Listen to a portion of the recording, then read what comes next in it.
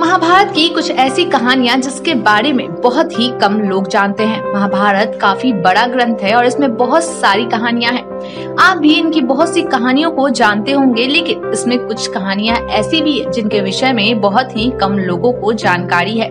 आइए जानते हैं महाभारत की कुछ ऐसी ही कहानियों के बारे में।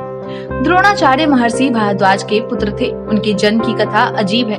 एक बार की बात है कि भारद्वाज ऋषि गंगा में स्नान करने गए थे तो वहाँ नदी में एक अत्यंत सुंदर अप्सरा को स्नान करते हुए देखा। उसे देखकर ऋषि का मन मोहित हो गया और उनके शरीर से शुक्राणु निकल गए, जिसे उन्होंने एक बर्तन जो मिट्टी का था उसमें संग्रह करके अंधेरे में रख दिया। उस बर्तन का नाम द्रोण था। अतः इससे जन्म हुए बालक का नाम द्रोणाचार्य रखा गया।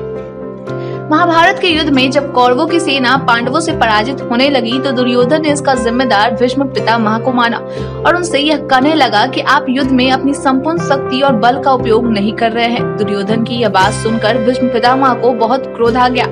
तब ऐसा हुआ कि भीष्म पितामह ने सोने से बना हुआ पाँच तीर लेकर उसे मंत्र पढ़कर अभिमंत्रित किया और उसके बाद दुर्योधन को भीष्म पितामह ने कहा कि इन पाँच तीरों से पाँच पांडवों का कल वध हो जाएगा। भीष्म पितामह का ऐसा कहने पर भी दुर्योधन को उन पर संदेह हो गया और उसे उन पर विश्वास नहीं हुआ और उसने भीष्म से उन पाँचों सोने के तीरों को ले लिया और पितामह को बोला कि मैं इन तीरों को आपको कल सुबह लौटा दूँगा। श्री कृष्ण भगवान को दुर्योधन और भीष्म पितामह के बीच की यह बात मालूम हो गई। तब उन्होंने कुंती पुत्र अर्जुन को यह सलाह दिया कि तुम दुर्योधन से जाकर ये सभी तीन मांग लो।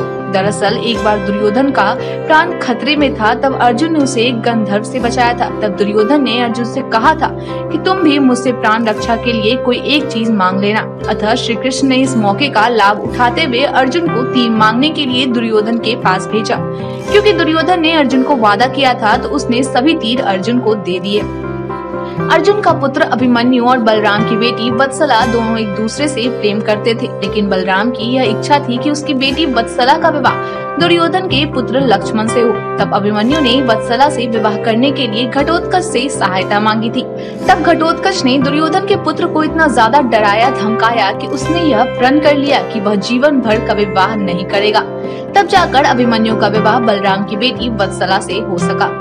एक बार जब राजा पांडु, जो पांडवों के पिता थे, वह मरणासन स्थिति में पहुँच गए थे, तब उन्होंने अपने पांडव पुत्रों को कहा कि तुम लोग बुद्धिमान और ज्ञानी बनने के लिए मेरा मस्तिष्क खा जाओ। तब केवल सहदेव, जो सबसे छोटा था, उसने अपने पिता की इच्छा को पूरा किया और उनके मस्तिष्क को खाने लगा। जब वे अपने पिता के मस्तिष्क को पहली बार खाने लगे तो उन्हें दुनिया की भूतकाल की घटनाओं की जानकारी हुई। दूसरी बार मस्तिष्क को खाने पर सहदेव को अभी वर्तमान की घटनाओं की जानकारी प्राप्त हुई और अंतिम और तीसरी बार मस्तिष्क खाने पर भविष्य की घटनाओं की जानकारी मिलने लगी। इस तरह सहदेव पांडवों में अकेले थे जो त्रिकालदर्शी थे।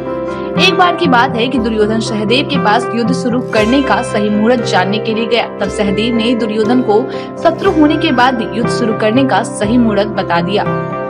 महाभारत के युद्ध में विजय के लिए अर्जुन के एक बेटे इरावन ने खुद की बलि दे दी थी, लेकिन बलि के पहले वह यह चाहता था कि उसकी शादी हो जाए, लेकिन उससे विवाह करने के लिए कोई भी लड़की तैयार नहीं थी, क्योंकि उसके पति की मृत्यु होने वाली थी। तब श्री कृष्ण भगवान ने मोहिनी रूप धारण करके इरावन से विवाह किया और उसके मर जाने पर रोते हुए उसकी विदाई की। उडप्पी के राजा ने महाभारत युद्ध में नहीं लड़ने का फैसला किया था वह न तो कौरवों के पक्ष में थी और न ही पांडवों की तरफ़। उसने भगवान श्री कृष्ण को कहा कि कौरवों और पांडवों की सेना के लिए हम भोजन पकाकर खिलाने का काम करेंगे। कहा जाता है कि कौरवों और पांडवों की इतनी बड़ी सेना होने के बाद भी महाभारत युद्ध के 18 दिनों में कभी भोजन की कमी नहीं हुई थी। एक बार रुडप्पी के राजा से महाभारत युद्ध के सेना के कुछ लोगों ने इस बारे में पूछताछ किया तो उस राजा ने इसका कारण भी श्री कृष्ण को बताया। राजा ने यह कहा कि जब भी हम श्री कृष्ण को खाना खिलाते हैं और वह भोजन कर रहे होते हैं तो उनके आहार से उन्हें इस बात का अनुमान लग जाता है कि कल के युद्ध में कितने लोग मरने वाले हैं और उसी के हिसाब से खाना पकाया जाता है।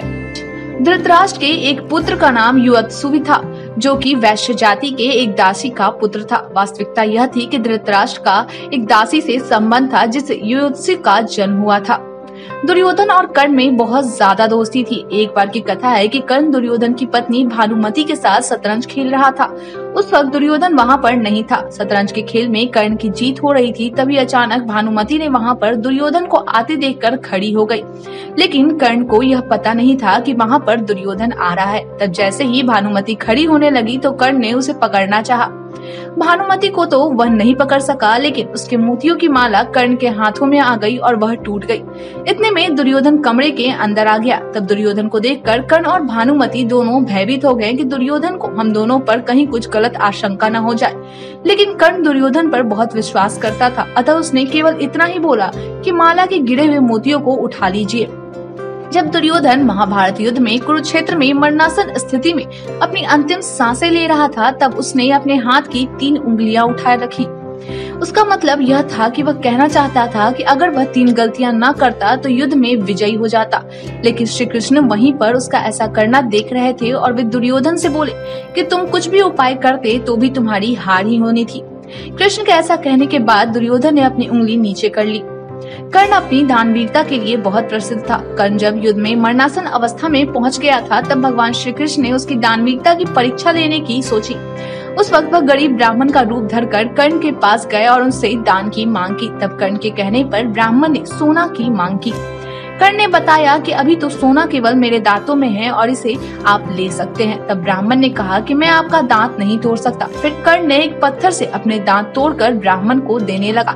लेकिन ब्राह्मण ने खून से सने दांत लेने से इनकार कर दिया। तब कर्ण ने एक बाँध का आसमान में चलाकर वर्षा करा दिया, जिससे दांत धुल गया।